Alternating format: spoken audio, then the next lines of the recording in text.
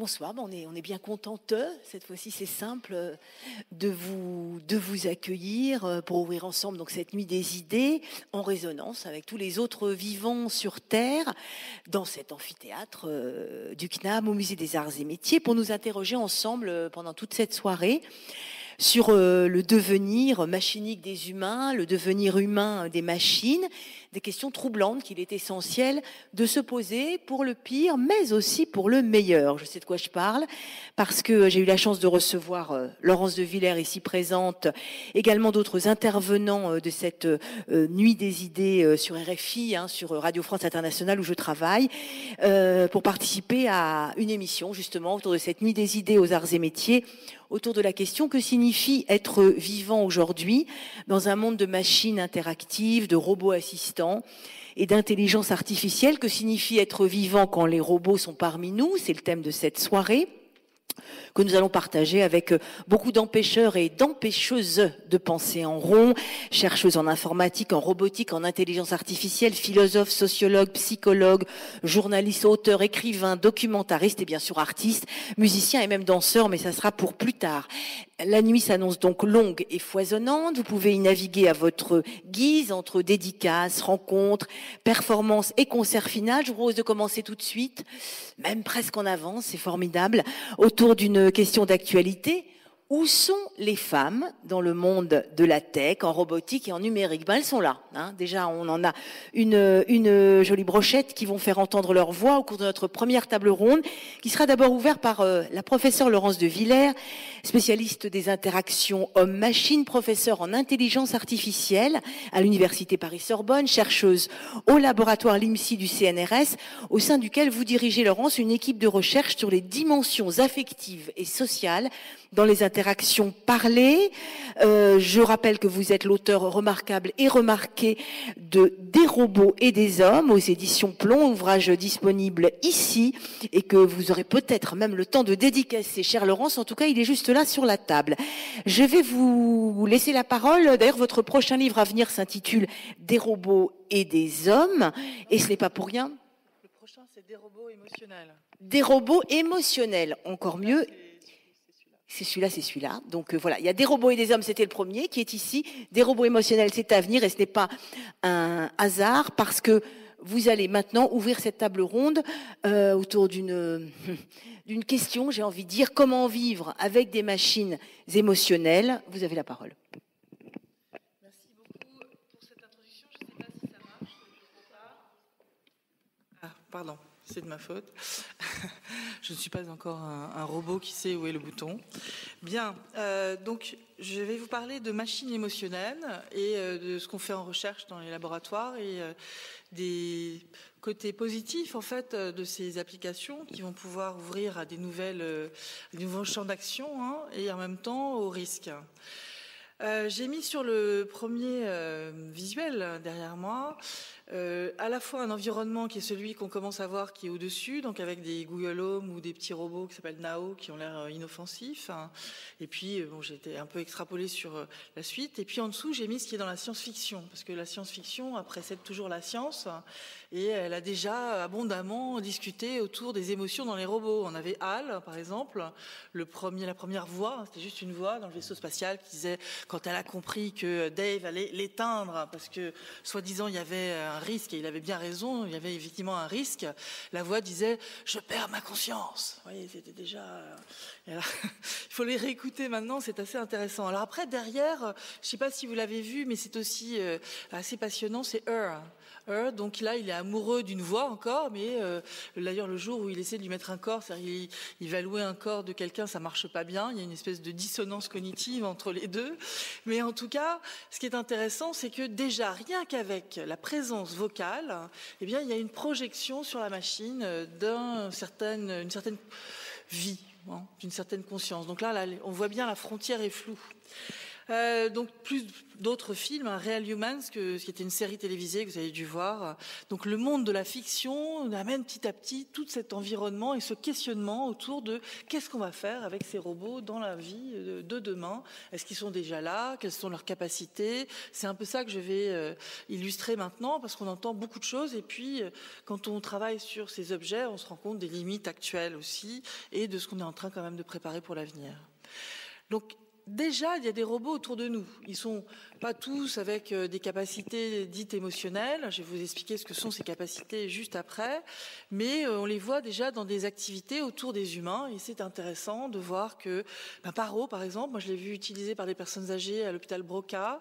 Euh, c'est une présence incroyable. Il y a des gens qui étaient complètement repliés sur eux-mêmes, qui, avec ce, bébé phoque, hein, personne n'a jamais porté un bébé phoque, donc il n'y a pas d'attendu. C'est un assez spontané. Alors il ne parle pas, hein, c'est un animal, mais il. Et il interprète la prosodie. Il réagit au toucher, à la chaleur, à une sorte de prosodie. Il a une espèce de langage très très primitif de petits bruits qui laisse à comprendre qu'il a reconnu, qu'il réagit au toucher. D'accord? Donc c'est un objet réactif qui euh, a été extrêmement bien euh, utilisé, je trouve. Il n'est pas laissé dans les bras de quelqu'un, il est utilisé à plusieurs, sous contrôle d'humains. Et ce qu'ils ont pu voir, c'est que finalement, il était assez rassurant.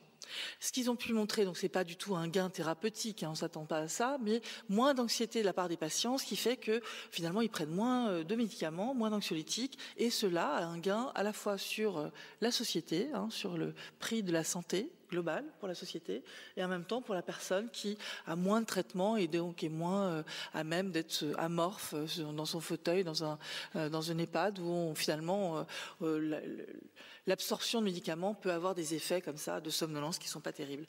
D'autres aspects, par exemple pour des pathologies avec des enfants comme les enfants autistes, donc on voit beaucoup se développer ces systèmes. L'autisme, c'est un manque de compréhension des émotions des autres dans l'interaction, et donc à travers ces machines, on essaie de redonner ces capacités aux enfants ou de leur montrer ce que seraient ces capacités. Et vis-à-vis de euh, cette pathologie, ce qu'on peut remarquer, c'est que les enfants se comportent euh, très bien avec ces machines dont ils attendent pas de jugement la machine est là, euh, froide, elle montre des choses, mais ils ne sont pas bluffés par le fait que c'est un humain du tout. Et au contraire, ils se trouvent mieux dans ce monde-là, où justement, il n'y a pas de, jugement de la part de, la personne en face. Et donc, ce qui était intéressant, c'était aussi d'imaginer ce robot, et ça, c'est Sophie Saka qui a travaillé sur ce sujet, qui est une roboticienne qui a travaillé avec euh, l'hôpital de Nantes, et elle a utilisé les robots non pas comme des partenaires, mais comme des transmetteurs de la parole des enfants. Les enfants ne parlaient pas, mais par contre, jouer avec le robot et, le robot parlait à leur place. Elle a fait faire des pièces de théâtre avec ces robots où c'est des enfants derrière qui les pilotent. Et derrière, avec un accompagnement sur un an, elle a monté tout un protocole très intéressant. Les enfants ont fait des progrès. Ils ont fait des progrès à l'école, des progrès d'insertion, des progrès pour parler plus avec euh, leur famille. Donc vous voyez, c'est des choses très intéressantes qu'on peut faire avec ces machines. On compare souvent l'humain avec la machine en disant la machine va devenir plus intelligente que l'humain. Pourquoi? Parce que euh, il a gagné au jeu de Go, au jeu d'échecs. Sachez quand même que ces jeux, même si pour nous ils paraissent extrêmement brillants, hein, on n'est pas tous champions de Go évidemment. Ils demandent un certain calcul. Je sais pas si vous jouez aux échecs, combien de coups vous anticipez? Moi, quand j'ai demandé ça au la qui avait entraîné ce système chez Google DeepMind, il m'a dit, moi, j'anticipe à 50 coups. Dis, waouh, 50 coups, pour faire un peu d'échec, euh, à 3-4 coups déjà, euh, c'est pas mal. Donc vous voyez, donc c'est une stimulation particulière. Et quand j'ai dit, mais on fait quoi pour arriver à ce niveau-là? Vous avez fait maths, vous avez fait quoi? Donc il était, c'est un Chinois, il a dit, moi j'ai fait du Go depuis 8 ans, j'étais repéré en Chine, j'ai fait Go 24-24, 7 sur 7. Et même avec toutes les parties que j'ai jouées dans ma vie, je ne suis pas aussi fort que la machine qui en a joué des millions.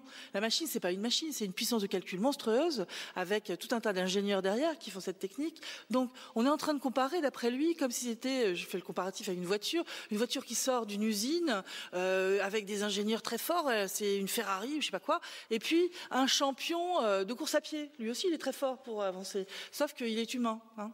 Donc la comparaison est difficile. Ce qu'il m'a dit d'intéressant, c'est j'ai pu regarder les traces, les logs, et dans la, presse, on avait parlé de coups magiques, de coups qu'un humain n'aurait pas fait. Évidemment, il ne développe pas 63 coups euh, pour aller trouver la bonne tactique, ni dans la largeur que pouvait faire la machine. Et il m'a dit, j'ai appris, j'ai compris des trucs, et maintenant je joue mieux avec des humains. Donc c'est ça qui est intéressant, c'est cette complémentarité. Et ces machines n'ont pas, n'ai pas mis une pomme pour faire Apple, hein, j'ai mis une pomme pour le goût de la pomme. Hein, la machine n'a pas de corps, elle sait pas ce que c'est que le goût de la pomme. Elle peut toujours apprendre dans une encyclopédie combien il y a de pommes au monde et blablabla, mais elle saura jamais ce que c'est vraiment la sensation de la pomme. Elle n'a pas de corps, donc elle n'a pas de réelle empathie, de réel ressenti et euh, de euh, conatus, comme le dit euh, Spinoza, c'est-à-dire en fait de cet appétit de vivre, euh, le fait qu'il y ait une homéostasie, il y a un besoin de rester vivant, euh, et, donc l'ordinateur n'a pas tout cela. Damasio, il faut lire Antonio Damasio si vous voulez connaître plus de choses sur la neuroscience des émotions. Et c'est Bon, alors ça, c'est des petits robots dans mon laboratoire qui répondent aux personnes à la voix. Donc, quand je dis je je suis pas content, eh bien, le petit robot, il va dire j'ai l'impression que tu es comme ci, comme ça, parce que je détecte les émotions au mais aussi je garde un historique de ce qui s'est passé. Et à ce moment-là, euh, j'ai euh, une possibilité d'interpréter euh, ce que la personne a dit et de garder en mémoire toute l'interprétation le long de l'interaction. Ce qui fait que je calcule un profil de la personne, suivant des dimensions d'extraversion, d'émotionnalité, qui me permet après de jouer des bonnes relance à certains moments. Et donc c'est assez puissant.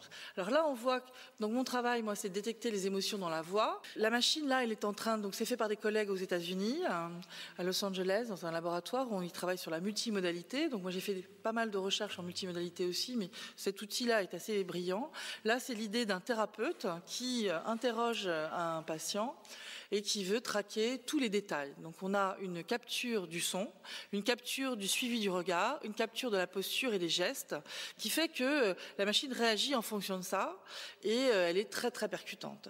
Et quand je vois ce genre de système développé et que je sais que par ailleurs dans le milieu du recrutement, on commence à utiliser des techniques comme celle-là pour aller traquer dans la voix euh, des capacités euh, d'extraversion, de créativité, d'intelligence, je ne sais quoi, je dis là, il y a un problème éthique grave, c'est-à-dire qu'il faudrait quand même euh, savoir quelles sont les mesures qui sont prises, que ce soit un peu plus transparent, un peu plus explicable. Et donc, c'est quelque chose qui est important à comprendre. Et là, avec ce genre de machine, hein, c'est plus, c'est plus important encore que facial. On est tous actifs là sur la reconnaissance faciale parce qu'on a vu ce qui se passe en Chine, la note morale, etc. Mais là, avec une détection dans la voix, on va aussi très très loin. Hein. Donc sur le multimodal, encore pire, puisque on va pouvoir traquer. Alors à l'heure actuelle, les enfants, euh, les jeunes ados qui ou les jeunes adultes plutôt qui candidatent dans des grosses boîtes, on leur demande de temps en temps d'enregistrer leur voix, de répondre à des questions à l'oral, et ces euh, signaux sont envoyés. Et derrière il y a des logiciels qui viennent traquer différents indices qu'on ne connaît pas, on ne sait pas comment c'est évalué. Et par contre euh, vous avez le résultat après qui est être pris ou pas pour un entretien n'est-ce pas? Donc, sur quoi on se base Et ce serait quand même important euh, qu'il se soit évalué. Donc, là, j'avais une autre vidéo encore. C'est du japonais, là, je pense que vous n'allez pas en pâtir. Il y a une traduction euh, en, dessous. Donc, c'est une personne qui vit avec, euh, non pas Google Home, mais la même chose au Japon, avec la fée clochette au-dessus. C'est un hologramme qui représente une jeune femme et qui va vivre avec la personne chez elle. Donc c'est l'attention première, c'est vraiment le minimum vital. On est en train de faire des objets qui ont l'air vulnérables, ça fait penser tout à fait au Tamaguchi euh, pour nos enfants. Euh, c'est un objet qui vit avec la personne, et, enfin qui vit, qui est, actif à côté de la personne et qui euh, va répondre à des attentions premières. D'accord? Et ça marche très bien. C'est-à-dire qu'ils sont euh, très contents. C'est un produit qui est déjà vendu, ça vaut pas très cher. Ça vaut 1200 euros euh, au Japon. Ça s'appelle Getbox. Et euh, donc, ce qu'on peut, ce qu'on peut voir, en tout cas, c'est qu'il y a un lien qui se crée, puisque la personne dit, en tout cas, dans cette petite vidéo, et, et c'est et, ce genre d'objet va, euh, va arriver. Quoi. Donc il arrive d'une autre culture que la nôtre. Nous, on a des mythes qui sont plutôt euh, les mythes. Enfin, on a plutôt peur en face de ces objets robotiques. Le mythe de Frankenstein est très présent euh, en Occident, par exemple, le golem. C'est-à-dire qu'on crée, on se, nous sommes que des humains, nous ne sommes pas des dieux. On crée des choses qui nous ressemblent. Et puis notre euh, croyance de ces mythes fait que forcément on pense que la chose va se révolter, puisqu'on lui donne une espèce de présence. Donc bon, au Japon, c'est très différent. Les cinquantenaires, ils avaient, euh, enfin, les gens qui ont 50 ans maintenant, qui font des robots, quand ils étaient jeunes, eux, il y avait Astro, le petit robot. Et Astro, le petit robot, c'était un petit robot bienveillant qui venait aider les humains sur Terre. Voilà, donc ça change un peu le prix qu'on peut avoir vis-à-vis des machines. Donc, en attendant, euh, il faut se préoccuper de ce sujet, voilà. Il faut se préoccuper surtout de ce sujet aussi parce que nous sommes humains et on projette sur ces machines qui bougent autour de nous, qui parlent, qui nous parlent, parce que la parole, c'est vraiment ce qui fait de nous une société. C'est comme ça qu'on construit de la connaissance. Eh bien, euh, ces machines, euh, on a de l'empathie pour elles. Quand ils poussent la machine par terre, eh bien, on a de l'empathie pour ce pauvre robot euh, que l'humain va pousser sans arrêt.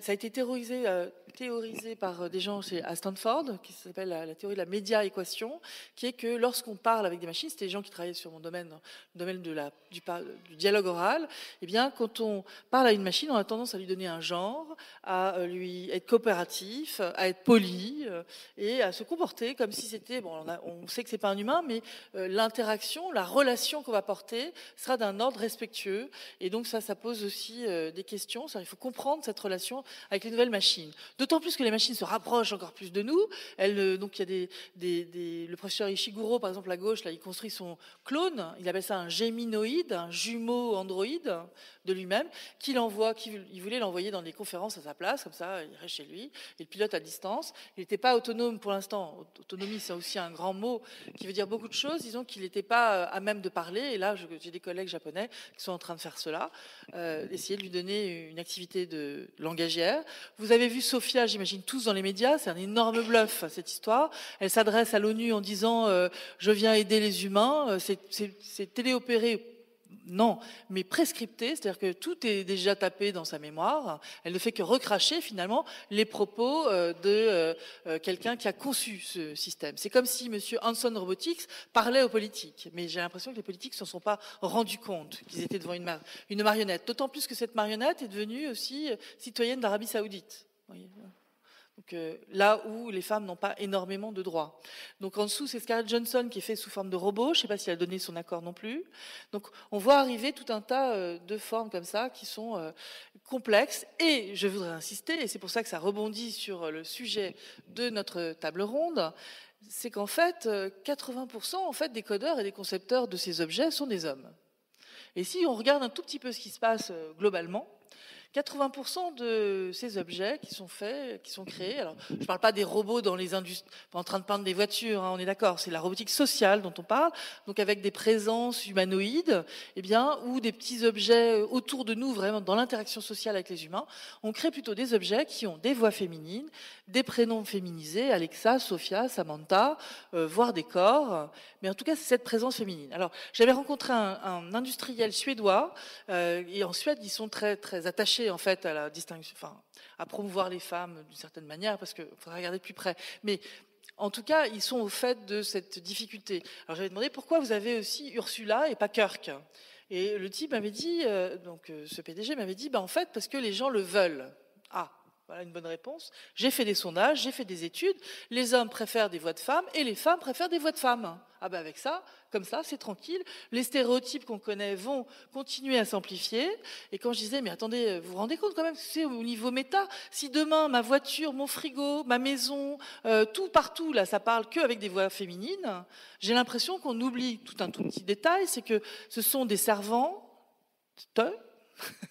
pas écarlates, mais ce sont des servantes, voire il y a des servantes écarlates aussi. Il y a beaucoup de robots sexuels qui sont en train de monter. Euh, elles sont en présentiel, donc c'est des objets qui vont être dépendants dans la servitude et qu'on pourra éteindre quand on veut. Donc c'est super cette représentation des femmes. Je pense qu'il y a une solution de base qui serait le hasard. Quand j'appelle quelqu'un au téléphone, je ne sais pas si je tombe sur un homme ou une femme. Le hasard pourrait être très bien. Donc soit on a une réflexion méta dans la société sur cela, soit euh, il faut trouver un autre moyen de faire qu'il y ait un peu de hasard. Euh, pour terminer, donc moi mes sujets d'études en recherche, c'est de travailler sur aller le plus loin possible sur la performance de systèmes qui pourraient détecter nos émotions dans la voix, et les machines seront meilleures que nous même si je dis que la machine n'est pas plus intelligente, ça ne veut pas dire ça, sur une IA faible, très très enfin, particulière, sur un sujet très précis, elle sera meilleure que nous parce que nous sommes pleins de biais et perceptivement nous sommes assez mauvais. Pour pouvoir survivre, on a une faculté de décider très vite. Donc ça c'est Kahneman. Kahneman c'est système 1, système 2. Système 1, l'intuition, système 2, la réflexion. Devant un acte de décision, on va très vite sur l'intuition. D'autant plus qu'en ce moment, on nous demande de cliquer partout. Donc vous n'avez pas le temps de réfléchir, hop, le clic, c'est l'intuition première.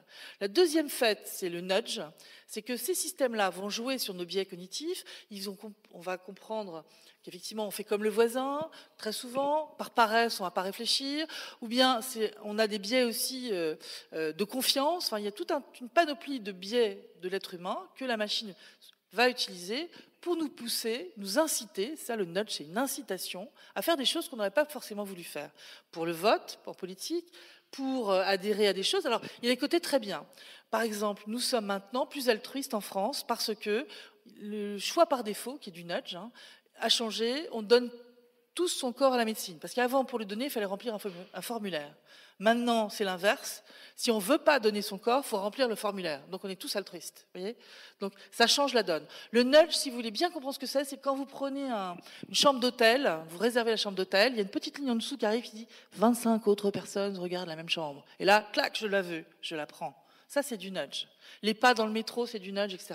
Donc on fait des tests, on a fait des tests à l'école, par exemple, pour voir si une machine va plus influencer les enfants qu'un humain. Eh bien oui, la réponse est pour l'instant oui. On l'a fait avec des jeux sérieux qu'on qu'on connaît, qu'on a calibré euh, sur le partage, l'altruisme, et on se rend compte que c'est potentiellement ça. Donc moi, je suis désolée, je ne veux pas que euh, ma grand-mère qui est à l'hôpital dans un hospice ait un robot qui lui propose des crèmes de beauté pour qu'elle soit euh, plus jeune et tout un tas de marketing derrière. Donc je refuse que on ne contrôle pas ces objets pour le bien-être de la société, de notre santé, etc. Les premiers, les premières personnes qui vont avoir des objets comme cela autour d'eux, ce sont les personnes âgées dans le grand âge, et ça a des qualités indéniables on peut faire des progrès dans le langage quand on perd le langage, pour la mémoire, pour Alzheimer, etc. Donc il ne faut pas jeter tout ça du tout. Il faut s'attendre à ce qu'il faille l'utiliser, parce que ça ne serait pas éthique de ne pas l'utiliser. Mais en même temps, il faut comprendre quelles sont les limites à donner. Voilà pourquoi je situe l'éthique. Et donc, euh, nous sommes une équipe qui travaille là-dessus. J'ai écrit ce livre Des robots des hommes. J'en ai un deuxième qui va sortir à l'Observatoire sur les robots émotionnels. Et j'espère que j'ai, euh, je vous ai fait prendre conscience de ce sujet. Merci euh, Laurence de Villers. Euh, prendre conscience, oui, essayer de démêler euh, le vrai du faux, les, fantasmes de la réalité. J'aimerais bien faire réagir nos intervenantes, puisque cette table ronde, pour une fois, dans ce monde de la tech, on se demande où sont les femmes, et eh bien elles sont là. J'aimerais faire réagir nos invités que je vais vous présenter. Donc Salwa Toko, vous êtes présidente du Conseil national du numérique, fondatrice de l'association Bicomtech, ancienne d'ailleurs de la fondation Agir contre l'exclusion, militante contre la fracture numérique et pour l'égalité femmes-hommes. Alors comment vous réagissez euh, à l'exposé un peu rapide de, Laurence de Villers, mais notamment, oui, à cette, euh, ce que j'ai bien entendu, c'est-à-dire la plupart des roboticiens ou concepteurs sont des hommes, et puis la plupart des voix de ces assistantes euh, sont féminines. Ça marche Oui. Bonsoir, merci, merci de cette invitation. Ravi d'être là parmi vous. Alors, euh, comment réagir? Avec des, des, sueurs froides dans le dos déjà, pour commencer, euh, en parlant d'émotions. Euh, et puis tout simplement pour dire en fait bah, à quoi est-ce que vous voulez qu'on s'attende? De toute façon, les femmes n'existent pas dans le monde scientifique, donc forcément. Elles commencent à exister tout Alors, même. Hein. oui. J'aime bien être provocatrice. On en a une de scientifique à côté de nous. Mais ce que je vais dire par là, ce que je vais dire par là, c'est que le, problème que l'on rencontre aujourd'hui, euh, et qui a été beaucoup accéléré avec la, justement avec ce qu'on appelle le, numérique euh, et maintenant bien sûr l'intelligence artificielle, c'est que les biais euh, sexistes qui existent en fait dans le monde physique se retrouvent, sont voire même quelquefois amplifiés dans tout cet univers en fait de recherche et de technologie. Et c'est ce que prouve Laurence avec effectivement le fait que la plupart de ces robots ont des voix féminines, que la plupart en fait des actions de ces robots sont des actions de service en fait, donc vraiment ce sont des servants des humains qui sont là au service des humains. Et qui peut être au service des humains si ce sont des femmes, puisque déjà dans la vie réelle, ben oui, ce sont les femmes qui font la plupart de toutes les tâches, notamment domestiques et qui tournent autour du soin en fait, tout ce qui tourne autour du soin des, euh, des personnes et le soin euh, de manière globale, pas uniquement le soin médical, mais tout ce qui porte sur l'attention.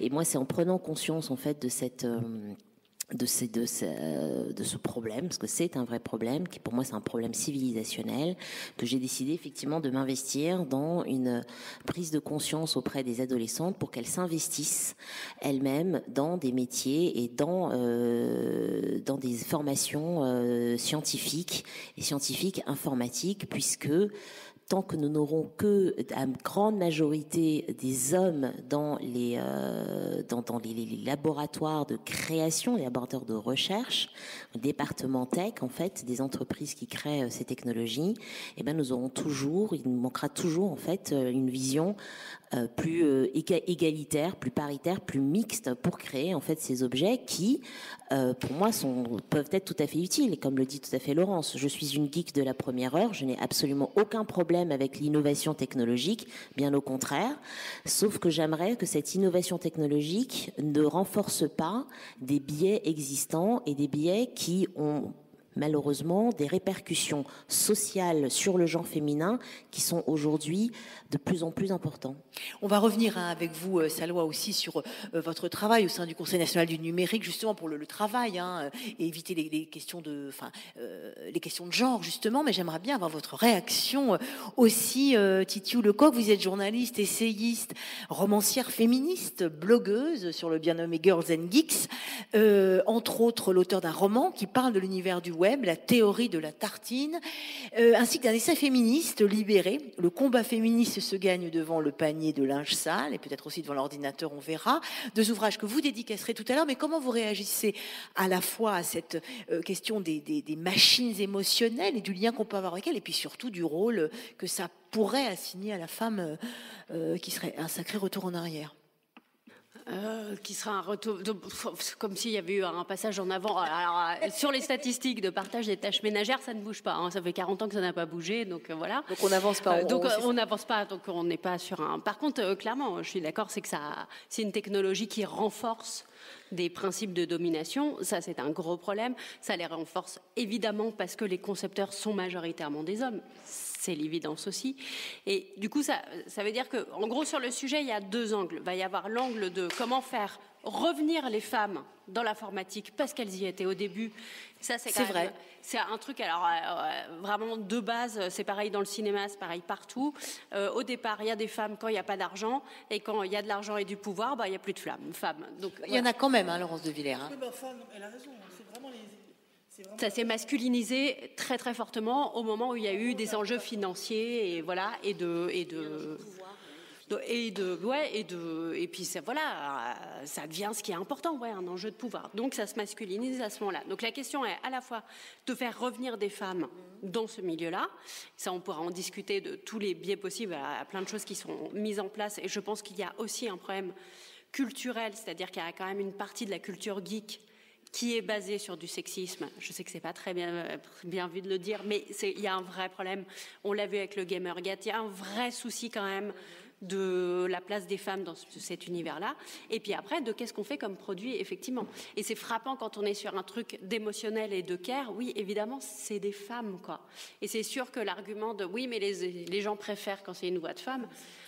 C'est, voilà, il faut à un moment les responsables des grandes entreprises qui vont commercialiser les produits, ils savent qu'ils ont une responsabilité qui est d'ordre politique, intellectuel, philosophique, et voilà, ils prennent leur responsabilité ou pas. Mais ils font, ils font ce qui marche, Laurence de Villers, parce qu'on peut aussi se poser la question par rapport à tous ces outils émotionnels, du lien qu'on développe, vous l'avez bien dit, vis-à-vis d'eux. Est-ce qu'il faut une voix de femme, d'homme, que, que, ce soit aléatoire, c'est possible Est-ce qu'il ne faut pas une voix machinique? Est-ce qu'il ne faut pas une voix de machine où on sache bien à qui on s'adresse, justement? les, les, premiers à avoir réagi, vous allez voir, c'est assez bizarre, c'est la Californie. La Californie sort une loi pour dire attention à la frontière entre vivant et artefact. Il faut absolument que tout concepteur montre, alors c'est pas sur les femmes exactement, mais ça commence par ce biais-là. Il faut que les concepteurs de ces systèmes puissent mettre quelque chose dans la machine qui montre que c'est une machine. Donc ça, c'est intéressant. Et donc, quand j'en parle la première fois avec Luc Julia, je dis, bah alors dans Syrie, il me dit, bah Syrie, il n'y a pas de problème. Syrie, ça veut dire quelque chose de féminin aussi. Hein. Ça veut dire la femme qui est. bon, bref. Et il me dit, bah, on appuie sur un bouton. Voilà. Donc ça suffit pour euh, le monde. Pour savoir qu'on a affaire à, à une machine. posé la question avec les enfants. Il y avait eu des articles aux États-Unis qui étaient est-ce qu'on doit forcer les enfants Est-ce qu'on doit forcer les enfants à être polis avec euh, l'enceinte connectée? Et mais c'est une vraie question. Comment est-ce qu'on se positionne À laquelle il y a plusieurs réponses. Quelle serait la vôtre Serge Tisseron, il a la même vision. Il dit ça, et moi, je suis tout à fait contre, parce que Serge Tisseron, il dit, pour l'avoir entendu, il dit, il ne faut pas apprendre aux enfants à être polis avec une machine, ah parce bah que ce c'est pas le rapport qu'ils vont avoir. C'est une machine. Il faut qu'ils sachent que c'est une machine. C'est son, son, point de vue. Hein. Le vôtre, Laurence de Villers. D'accord. Donc, il faut bien le comprendre dans ce contexte-là, hein, parce que je l'ai entendu hors contexte aussi, si vous voulez. Et euh, il n'est pas question qu'on représente des femmes dans des objets qui soient euh, euh, des objets qu'on peut violer, qu'on peut tabasser. Il y a eu des choses comme ça aussi qui sont arrivées. Hein. Donc c'est là où il faut faire attention. On n'est pas. Et puis, je suis désolée, moi, quand j'ai des, des même sans que ce soit des robots, euh, des enfants qui euh, détruisent des choses que l'humain a construites, c'est pas euh, non plus neutre. Donc je suis contre cette option qui serait de violenter d'une quelconque manière, que ce soit du langage ou du geste ou voilà. mais, comment Parce que la question se pose aussi comment faire pour qu'on sache bien par rapport à ces robots émotionnels que voilà que c'est un autre, mais qui n'est pas vivant, puisque la soirée c'est être vivant. C'est un autre pour lequel il faut peut-être avoir du respect, mais autre là. Où je pense qu'il n'y a pas tant de gens que ça qui se font bluffer par le fait que même les qu'on a envie d'y croire. Mais les enfants, ils ont déjà des ours ou en plus là, ils ont joué toute leur enfance avec le miroir de moi-même, euh, la fin de, enfin mon autonomie qui passe euh, par ces objets de transfert. Donc c'est vraiment la effectivement les, euh, les, psychiatres qui vont pouvoir nous aider ou les psychologues sur ces sujets. Il faut regarder à quoi ça correspond. Quand le jeune japonais se retrouve chez lui avec sa fée clochette là, c'est un peu le miroir de lui, la fée clochette. Donc il est dans un confort de je, suis moi et je suis encore moi, quoi. Hein. Donc il faudrait juste qu'on appuie là-dessus. Si on est capable d'expliquer un peu plus quelle est cette projection de l'humain sur les machines autour de lui, euh, par exemple en Chine, et c'est pour ça qu'il faut avoir une vision très créative sur ça, à mon avis, ça parle à notre imaginaire, et très large d'esprit sur les différences culturelles, parce qu'on apprend des choses. Et en Chine, par exemple, quand on aime bien quelqu'un, on lui offre un miroir. Voilà, j'ai découvert ça parce que j'étais dans une thèse de quelqu'un qui travaille sur les émotions en Chine. Eh bien, moi, je n'offre pas des miroirs aux gens que je connais, peut-être je devrais, et c'est une façon de dire, vous n'êtes pas tout seul Et eh bien ça, je me suis dit, tiens, mais finalement, les robots aussi, c'est ça. Donc c'est pas inintéressant d'aller un peu plus loin que euh, ce qu'on a fait pour l'instant, je trouve, parce que pour l'instant, j'ai pas vu de théorie suffisante pour expliquer ce relationnel. Et on a besoin de faire une science autour du relationnel. Il s'agit pas d'être humaniste en disant euh, tout ça, je n'en veux pas. Il s'agit pas d'être scientifique en disant je suis rassurant, ne vous inquiétez pas, il n'arrivera rien. Non, c'est pas vrai. C'est pas ce que je dis on est en train de créer des relations avec des objets, cette partie qui est la partie relationnelle, elle doit être théorisée scientifiquement par des philosophes, par des scientifiques des sciences dures, en euh, complémentarité et euh, je pense que c'est la meilleure façon après d'appréhender les choses. Après, il faut qu'effectivement ces objets ne restent pas dans la sphère euh, qui plane un peu. On va tous utiliser des choses comme ça, et c'est là où il y a une pédagogie à vraiment insuffler par l'expérimentation. Je pense qu'il faut, comprendre l'usage par l'expérimentation et prendre les dangers également. Il faut en fait qu'on puisse s'interroger, hein, comme on le fait là en ce moment. Est-ce que euh, ça doit vous voulez ajouter quelque chose? J'aimerais bien qu'ensuite on, puisse peut-être euh, euh, voir avec des questions dans la salle. Oui. Alors en fait, ce que je, voulais effectivement appuyer sur les derniers propos de Laurence, c'est que je pense qu'on est encore à un nouveau tournant je, je que je n'aime pas véritablement appeler une révolution euh, numérique ou révolution industrielle. On est encore à un nouveau tournant, effectivement, de, de technologie qu'on a beaucoup de mal à maîtriser quand on est une personne lambda, quand on n'est pas euh, euh, le scientifique ou le chercheur spécialisé dans la manipulation de, de, ces technologies, et où, comme pour en fait Internet et toutes les questions qui se tournent autour d'Internet aujourd'hui, de danger, que ce soit sur l'identité sur euh, sur les fake news, sur ces dangers, sur la, la, démocratie euh, aujourd'hui qui est remise en question. C'est juste effectivement qu'on a oublié que ben nous humains, on avait besoin aussi un peu de pédagogie quand on quand quelque chose de nouveau arrive, et que cette cette pédagogie, ben on l'a pas du tout faite pendant les 20 dernières années où on a manipulé Internet, qui s'est énormément accéléré en plus ces dernières ces, ces dix dernières euh, années. Et ben on n'a pas pensé à un moment donné qu'il fallait peut-être créer des espaces pédagogie pour tout simplement apprendre aux humains à pouvoir mieux maîtriser en fait ces technologies. Et quand je dis mieux maîtriser, je ne parle pas d'une maîtrise technologique euh, comme si on était un chercheur ou soi-même euh, un pur scientifique, mais tout simplement qu'on ait conscience en fait de ces interactions, parce que les interactions avec les robots, vous avez des interactions avec votre téléphone portable, avec les réseaux qui sont exactement les mêmes euh, et où qu'on ne maîtrise absolument pas. Aujourd'hui, nos adolescents passent une grande partie de leur vie sur des réseaux sociaux. Ils ne maîtrisent absolument pas ce que c'est, ce que ça va devenir. Qu'est-ce que ça veut dire de faire ma petite vidéo où je fais, euh, où je fais des conneries sur TikTok? Euh, Je fais rire mes copains, c'est sûr, comme je faisais rire mes copains quand j'étais dans la cour d'école. Mais là, c'est inscrit quasiment à vie dans des machines qui risquent de ressortir. Qu'est-ce que ça a comme impact? Et si je vais aller plus loin, parce que là on est dans l'anecdote, euh, que veut dire de ne pas s'interroger sur l'utilisation que les parents font de leurs enfants pour faire des vidéos YouTube? Pour mettre en avant des produits ou pour mettre en avant leur vie parce qu'ils estiment que leur vie euh, doit être visionnée euh, euh, doit être visionnée au quotidien par des milliers de fans et, et d'abonnés.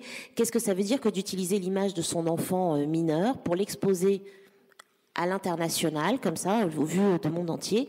Moi, j'aimerais bien commencer à rencontrer ces, jeunes qui vont devenir des adolescents et des jeunes majeurs et qui bien avoir un petit peu leur ressenti. Et c'est un petit peu la même chose. je mets tout ça, je mets tout ça en fait dans le même bocal de réflexion entre guillemets, juste pour vous alerter sur le fait qu'il est temps effectivement que l'on que l'on commence à vraiment créer de vrais espaces en fait de pédagogie pour nous humains vis-à-vis -vis de toute cette sphère technologique qui est en train de nous envahir, qui peut avoir bien sûr des bénéfices positifs énormes, mais qui peut avoir des externalités négatives que l'on connaît tous et qu'on a tous euh, qu'on a tous pu vivre euh, euh, en fonction de son environnement. On est là donc dans cette nuit des idées pour s'interroger avec vous, pour prendre le recul nécessaire, parce que c'est pas évident. Il faut avoir approché euh, eh ben, un Nao pour savoir que face à, un robot qui a une jolie petite bouille, eh ben, on, ça y est, on devient très affectif. Il faut le, vivre, prendre un peu de distance. Il faut pouvoir l'interroger. Je sais que Laurence de Villers, vous poursuivrez la nuit des idées ailleurs, et donc euh, peut-être qu'on peut faire un premier round de questions, si vous en avez pour qu'on interagisse, pour que justement euh, vous puissiez poser à Laurence, à Salois et à Titou les, questions euh. Avant qu'il y ait la première question, moi je dirais aussi c'est la capture de nos données hein, à travers ces objets. Hein. Ça c'est le premier point euh, sur lequel euh, c'est invisible. Notamment avec les enceintes, les enceintes connectées. Hein. Les enceintes connectées, je ne sais pas si vous en avez. Moi j'en ai deux, je joue avec, mais il faut les débrancher. Si on ne les débranche pas, ça peut nous écouter quand ça veut. On s'est prouvé, voilà. Donc, et en toute impunité. voilà. Ça va aux États-Unis, c'est même pas sous la loi de la GDPR. Dans le milieu de l'informatique émotionnelle, il y a beaucoup de femmes. Cynthia Brazil, enfin il y en a beaucoup qui ont monté des boîtes aussi. Alors Cynthia Brazil, c'est moins drôle parce qu'elle a monté Gibo et Gibo s'est cassé la figure il n'y a pas longtemps, mais c'est quand même un univers plus féminisé parce qu'on s'intéresse aux émotions. J'ai toujours dit, moi, euh, alors moi j'ai beaucoup de filles qui viennent quand même dans, mon labo, dans l'équipe, et j'ai toujours pensé que si on voulait accélérer euh, l'insertion des femmes sur ces sujets, il fallait leur faire comprendre euh, l'éthique de tout ça, les conséquences sociétales, et qu'on se base sur des théories en fait de, des humanités et de sociologie pour construire ça. Si on fait des systèmes un peu malins, c'est parce qu'on a compris. Par exemple, moi j'utilise une théorie qui s'appelle la théorie en sociologie des euh, des, faces de euh, Erwin Goffman, c'est l'idée que quand on parle à quelqu'un, il faut maintenir sa face, c'est-à-dire son estime de soi. Si vous faites pas ça avec un robot, euh, vous avez personne qui va l'acheter. si votre robot il vous plante, je vois vous dites quelque chose, c'est pas vrai. vous imaginez comment ça va pas marcher. Donc ce truc-là qui vient de la théorie en sociologie. Bon, c'est quelque chose qui est derrière. Donc on ne parle pas assez des fondements en fait qu'on utilise pour faire ces systèmes artificiels. Alors pas tout le monde, hein, mais pour faire des systèmes qui marchent dans l'interaction sociale, on a quand même intérêt à regarder théoriquement ce que c'est. Donc on travaille sur la théorie en linguistique, en psychologie, en sociologie, etc. Donc c'est fondamental de voir des femmes arriver dans ce domaine-là. Et je pense que féminiser les, enfin féminiser, euh, rendre plus affectifs tous ces objets devrait ramener des femmes dans euh, ces modélisations. Titoui Lecoq, vous en pensez quoi Comment, comment euh, est-ce que effectivement, euh, pour euh, qu'il y ait plus de femmes ou pour que ça revienne aux femmes qui étaient là au départ, dans tout ce qui nous entoure, dans tous ces objets connectés, est-ce que c'est du côté des sciences plus humaines qu'il faut encore aller chercher les femmes ou est-ce qu'il faut amener les femmes à l'informatique et aux mathématiques et aux sciences Oui, voilà, moi mon rêve, ce serait qu'on n'ait pas besoin de leur parler d'émotions pour qu'elles viennent s'y intéresser. C'est toujours un peu, un peu le, souci et qu'on ait des super codeuses qui juste, voilà, sont aussi fortes et qu'on puisse dire, ouais, c'est vraiment une brute en code. Je trouverais ça formidable. On n'en est clairement pas là. non, je, mais comment, enfin, la sélection, elle se fait très très tôt. On le voit, mais on le voit euh, quasiment dès la maternelle, des petites filles qui, euh, tout ce qui va être les maths, et eh ben, elles vont pas y aller. Il y a eu plein de tests qui ont été faits, notamment un qui est assez marquant, qui est, c'est un exercice qu'on donne à faire de géométrie, qu'on donne à faire à, des classes, filles, garçons. Et euh, quand le truc sur la feuille a écrit géométrie, et ben, les garçons réussissent mieux que les filles. Quand il y a écrit dessin, c'est le même problème, le même exercice, les filles réussissent mieux. Donc voilà, on sait qu'il y a des biais comme ça qui sont voilà internes, psychologiques et sociaux et voilà qui sont intégrés très très jeunes. Euh, qu'après il y a des choix aussi qui vont se mettre en place au moment du lycée de les filières scientifiques. Je vais pas y aller parce que voilà.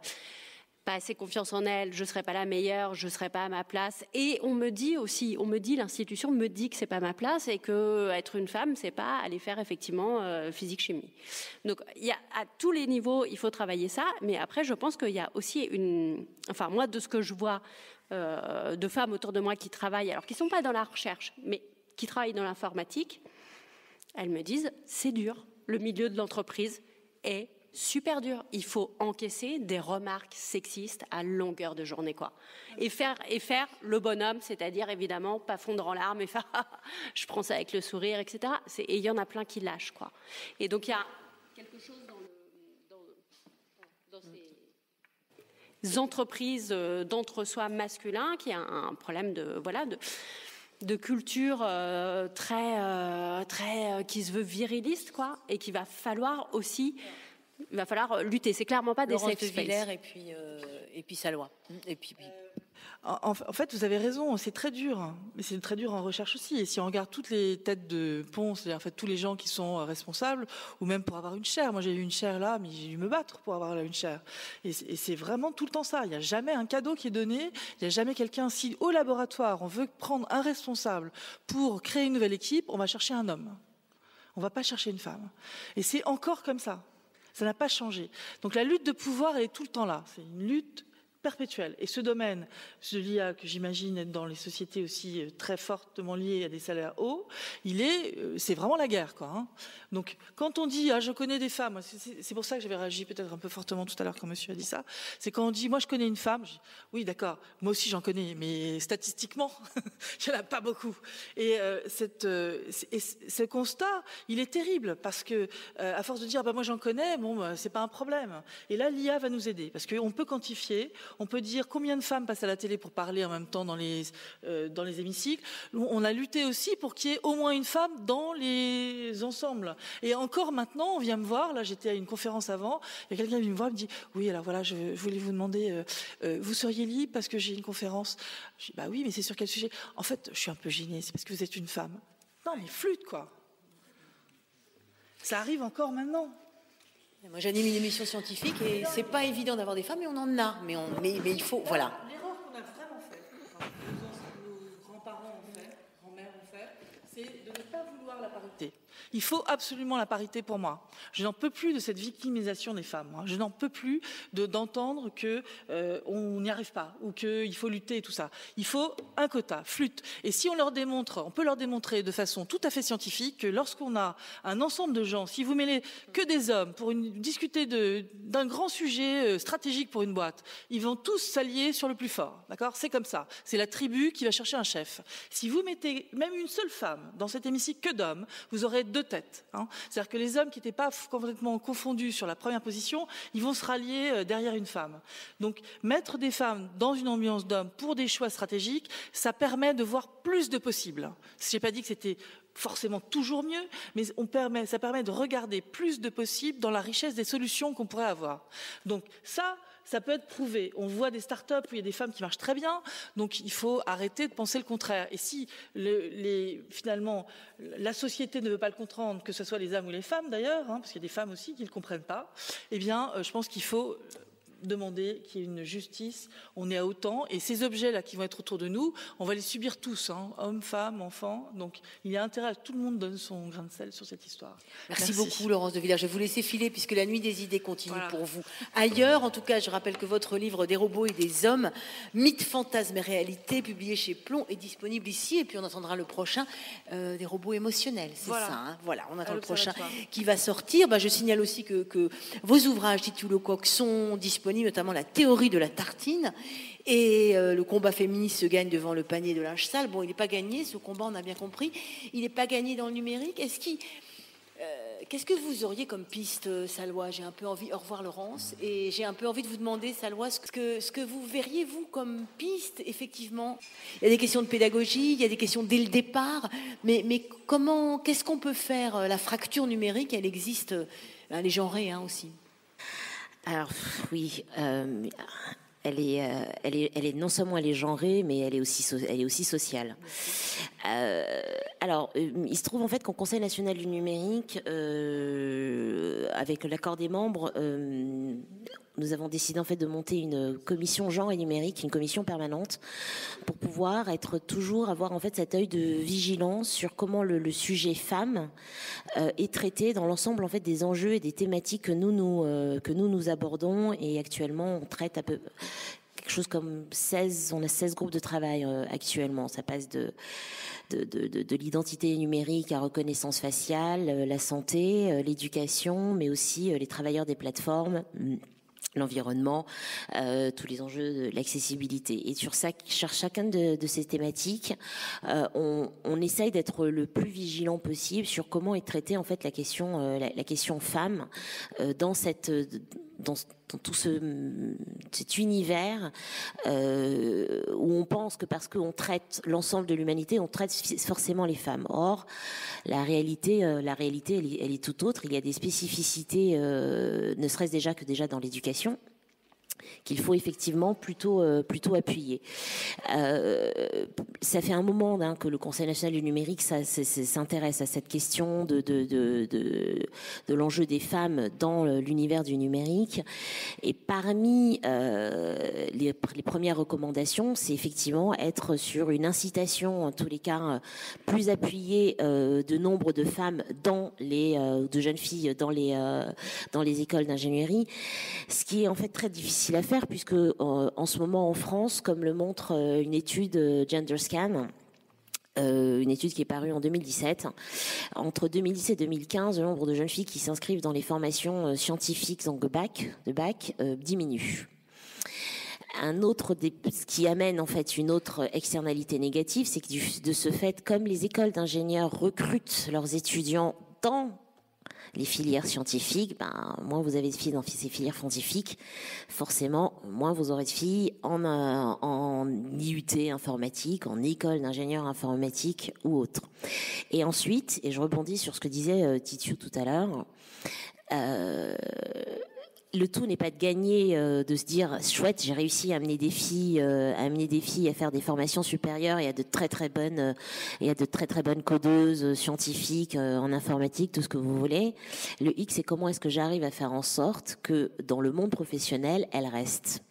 Parce que le taux d'attrition des femmes dans cette, dans ce domaine, il est d'environ de 5 ans elle reste entre 5 et 7 ans dans les départements, parce qu'effectivement, rien n'est fait de l'autre côté de la barrière, une fois qu'on a franchi la barrière étudiante.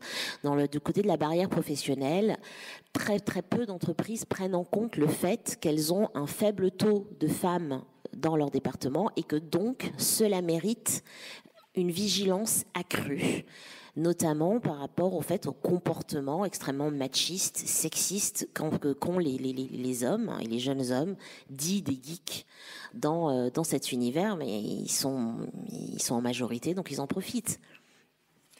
Une question devant, oui. Alors, elle migre la plupart du temps, elle migre en fait vers des postes, euh, vers des postes administratifs, tech, mais administratifs. Donc, elles sont sur des fonctions support. Vous allez les retrouver euh, dans euh, diriger ben, la com digitale du coup de, de, de, la boîte. Donc, c'est un gros avantage parce qu'elles ont une connaissance tech en fait, mais en plus, voilà, elles vont se diriger vers un univers qui est plus féminisé. Les RH aussi plus féminisés. Voilà, elles vont se retrouver en fait, elles vont dévier sur euh, ce qu'on appelle les fonctions, euh, les fonctions support. Et c'est une des raisons pour lesquelles moi j'insiste énormément et je le fais beaucoup euh, au sein de, de mon association, c'est que je ne parle pas d'univers numérique, je parle de l'univers de la tech, de la tech dure, des sciences dures, et je fais partie de celles qui militent en fait pour que les sciences de l'informatique soient enseignées dès la sixième euh, dans nos établissements scolaires, que ce ne soit pas juste une option comme ça qui euh, qui est proposé euh, au niveau du secondaire, mais que ce soit enseigné au même titre que les sciences mathématiques, que les sciences physiques ou que la biologie, dès la sixième, et auquel on pourrait associer la philosophie et l'éthique, parce que ça nous permettrait peut-être de commencer à élever des futures générations de citoyens codeurs un peu plus au fait de, des biais, des biais cognitifs, des biais, euh, des biais de genre et des biais sexistes qu'ils pourraient avoir, parce que ce qu'il faut pas oublier, c'est que euh, c'est pas l'algorithme qui est sexiste, hein, c'est pas l'algorithme n'a pas n'est pas une entité vivante. Hein. Euh, ce sont les personnes qui écrivent ces lignes de code qui n'ont pas le référentiel, en tous les cas, qui n'ont pas ce que j'appellerais les, des lunettes égalité femmes-hommes pour être conscients que la manière dont elles écrivent en fait cet algo va provoquer en fait des euh, peut éventuellement provoquer des biais euh, des biais supplémentaires. Et hum, quand on commence à travailler sur des questions de, reconnaissance faciale, ben, je peux vous dire que ça peut amener de gros dégâts.